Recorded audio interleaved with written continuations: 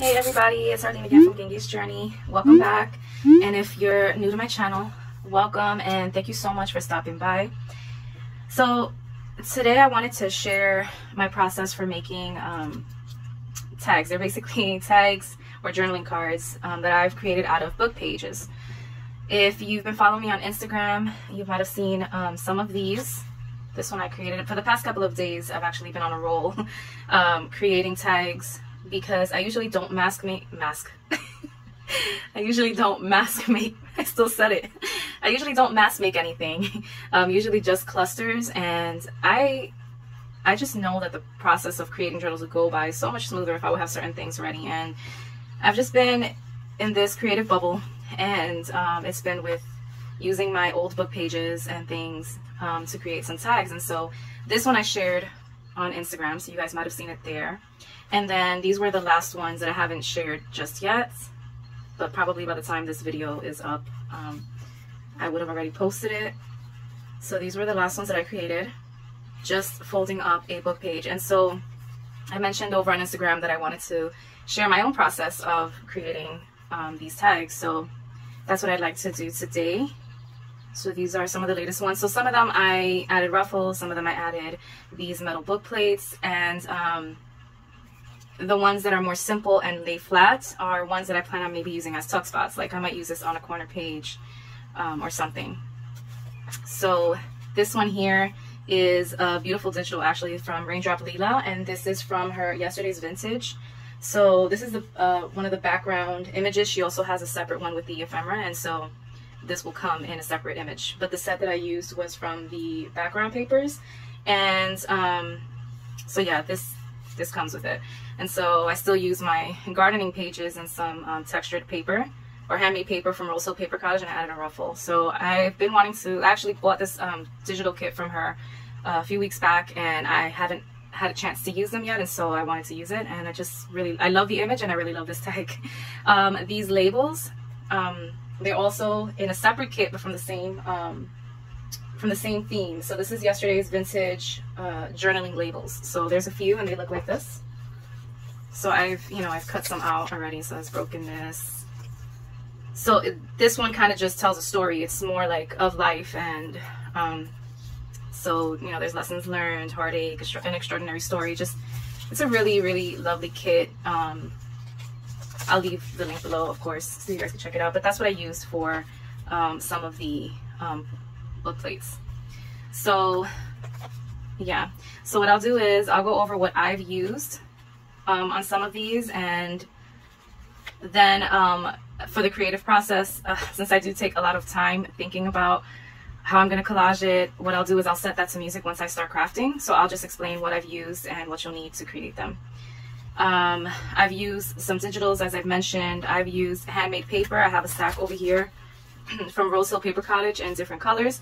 If you don't have handmade paper um, or an embossing machine, well, if you have an embossing machine, you can emboss um, your own papers, of course.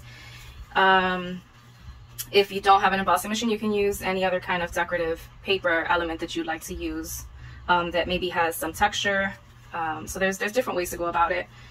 Um, what else? I've used, originally when I started these tags, it was because I wanted to use up these smaller images, these smaller uh, floral images that are so gorgeous. So if you see my journals before, you know that I use a lot of um, gardening book pages in the front. So I purchased this book, excuse the cover because I was using it as a, you know, to protect my table. So I destroyed the cover, sadly, with paint. But this is uh, the book that I've gathered those images from. So it's Better Home and Gardens, and this is from the Rose Gardening. I got this on thriftbooks.com. If you're interested, I'll also link it below. So I purchased it because, like I said, I use a lot. Let me move my coffee over before I knock it over.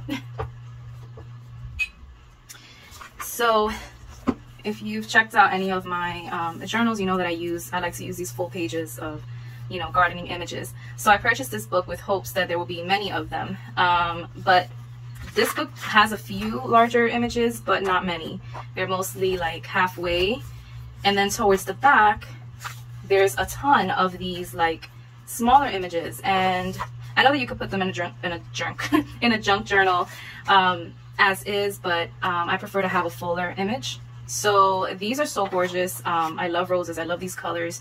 And so I decided, no, I'm going to use them. I'm definitely going to use them. A lot of the journals I've been making lately have a lot of um, florals and, and roses and things. And so I definitely wanted to use them. So um, I ripped this one out because I'm in love with these roses right here. So I'm going to be creating a tag out of that. But just like gorgeous, really gorgeous um, images. So I basically just tear the page out from the book. And when I tear them out, so then this side here that has like the larger rip, I use that. So I'll leave that side on. So I've left um, basically that rip on one of the ends, right? So then I just tear them out with a ruler. Um, I'll do that in the process, you know, once I'm done speaking. so yeah, I rip out all the corners, just leaving the tore part out. And then if there's like little shreds or whatever, I just, you know, rip it out so that it could look a little neater. And basically that's how I just like the look that it gives in the bottom. It's a little bit, you know, kind of, you know, that torn look, imperfect, and I still like it. So that's how I get these images. They're beautiful. There's so many of them, and some of them, some of them have additional flowers in the back, so you can pick and choose. So this is a good project if you have um, any magazines or books that may have smaller images like this and you want to use them up. So it's good for that. So I use book pages. I have a huge stack of old book pages that I've, I would say I've been hoarding, but honestly I didn't, I know there's tons of different things that you could do with book pages. That is why I purchased these long ago. But I ran out of, I guess, creative juice to use them at some point. They were just sitting there and then I forgot that I had them. So I wanted to use some more of my book pages up. So that's how that came about. So instead of just ripping out, you know, pieces of the book page and gluing it onto a manila card, which you can do that too, um, what I've done for these is I've pretty much, um, I've pretty much just folded them over and glued them. And actually, once everything is collaged on top, it's as if I used a cardstock.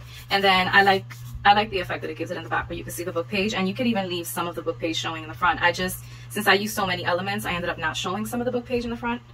So that's okay too. It depends on the look you're trying to achieve. So yes, you will need book pages. I have a lot of vintage ones. That's um, the look that I preferred, but some of these are not that old looking. And so then you can use some distress ink if you want to age it more. So yes, the gardening pages, book pages, some kind of textured paper or other decorative elements. You could also use um, bits of fabric to create that texture and to add color. And if you don't have, you would see on some of these, like the other yellow one that I had, other things that I used was ledger papers. Ledger papers and I've also used some wallpaper um, to decorate some of them, not all of them, but this particular one, yes, I added some vintage wallpaper and also some vintage ledger because I like the script writing. So um, if you want some of that script writing, but you don't have any ledgers, these are some of the ledgers that I've used. So these are like bits and pieces of ledgers. This was a pack that I purchased off of Etsy also a long time ago and there were so many and I never really used them up. Um, I like these vintage ledgers because of the script writing. And um, so that's what I that's what I use. I also use the yellow one. I use that yellow one here and here and just a collage. You can also get them from these um, vintage French ledger pages. A lot of those I get from, like this one particularly, I get from Crafty Paper Bits. And I just love all of that, um, all of that script writing. This is another old vintage one that I had from, um, this was from my Amity Bloom paper pack. And I've actually been hoarding this one because I like the texture of this paper and the color. But I've decided for this project, I'm just going to use up all of those things that have been sitting there collecting dust. Um, I've also used bits and pieces of vintage wallpaper or antique wallpaper in some cases that I've also been hanging on to for dear life. So some of these, um, like this one came from Ruby and Pearl. Um, this other bit came from Sarah from Crafty Paper Bits, and then these came from my Amity Bloom paper pack a while ago. So those are things that I'm going to be using. Um, so yeah, I also have a lot of these antique um, newspaper pages from Spain. So um, I do plan on using a couple of these. And when you have these longer ones, you can cut them in half and then create two tags out of it. You could even do four depending on the size. And then these French dictionary papers as well. I also used um, some of these to create them. This one I got from Dust to Roses Papery on her Instagram shop. So, okay, so what did I say? Book pages, gardening images, um, or some other magazine image, some textured paper, embossed paper, or some other decorative elements, some ledger. And then the metal piece that I've added on some of them are these book plates. I typically use these book plates on my journals. I have a few here because um, if you remember my other, um, my um, grandma's garden journal and then I had a book plate and lately I've been using the book plates. So I was, I ran out of those Tim Holtz book plates and I went on Amazon searching and I was unable to find the right size. These are huge. So I'm not sure that I'm even going to be, well, I'm definitely not going to use them in this project, but I'm not sure that I'm going to use them at all. I'm not sure. And then I just had a couple of decorative ones that I that I just fell in love with. So these are from Amazon. All of these actually are from Amazon. So you can use for the tags. These little ones are good to use. I know Sarah from Crafty Paper Bits, she tends to use these a lot too on her in her artwork. Um, and then these that I found on Amazon, I think are just so pretty. So I've been using these. Um, you know, it came with quite a few, the bag, so I don't mind using some on these tags. So um, if you don't have any metal book plate, I mean, you can um, I mean, you could always create a book plate out of some cardstock. Um, they also have digitals that have book plates. So, but some of these I didn't use book plates. Like this one, I didn't use a book plate. I just ruffled it. Um, and some others that I've created. So those are optional. I just like the effect um, that it gives. Um, so Cassie from Dust to Roses, she has this new digital kit. Um, these are antique, uh, antique neutrals. I believe. So this is her latest kit. I didn't print everything out, but I did print it because if you don't, if you wanted to, let's say, do these tags and you don't have um, maybe the book pages or any vintage ledger or anything like that, or even vintage wallpaper, this kit has everything. um, basically, you can use a lot of what it has. Um, she has a start to finish um, journal making process on her YouTube that I will link below. And basically everything that this kit has, she's used the originals in the journal that she's creating, which by the way is coming out stunning. So um, I'll link that down below. But so this, basically this is the kit that she's been using. And I thought it was perfect because it has the script. So let's say you don't have the book pages and you don't have the ledger. Um, this kit has it if you're interested. So I'm going to link that down below. This These are available in her Etsy shop. So see it has a ledger with the script.